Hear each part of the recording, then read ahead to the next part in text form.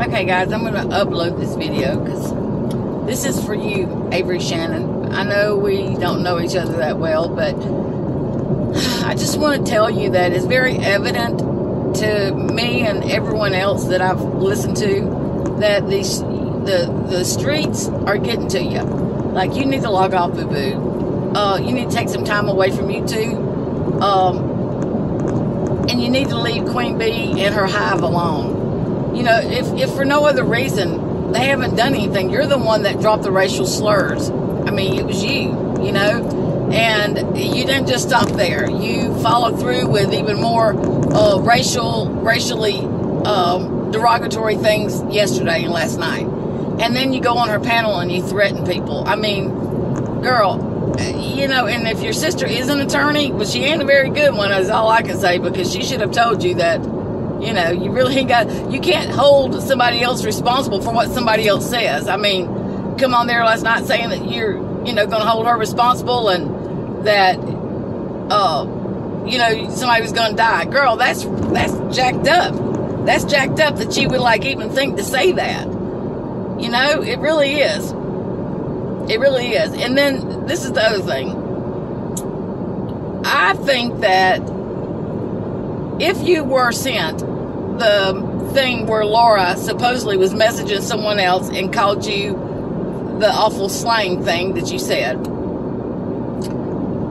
if you were indeed sent that, you yourself questions the validity of that because of this reason only. This is what I think, my opinion. The way you've hated Laura up until yesterday, you disliked her like you do Dolly. You didn't like neither one of them, okay?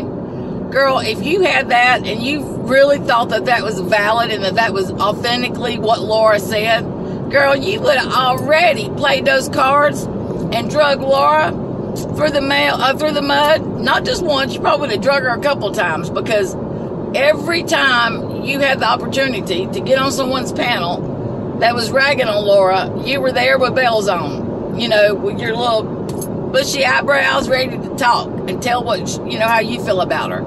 So the fact that you didn't do that and you sat on that for at least six months, girl, you know that you may not have created that message, but girl, you know you question that the validity of that. Come on, you know that. But anyway, it's your credibility is not what it should be.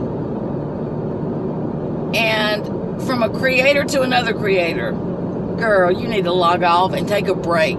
Spend some time with your family and take a break. Because really and truthfully, you need to, uh, you have offended enough people. You really have offended a lot of people, Avery. You need to think about doing a sincere apology, leaving it up, and just letting that be it. Just do the apology don't put, um, you know, but after it or follow up with anybody's children or anything like that. You owe Queen Bee an apology, the Hive an apology, but you also owe the community an apology for saying the racist slurs that you said. So, girl, that's just my advice from me to you. Okay, you ain't got to take it, but you should. Diamond Cutter out.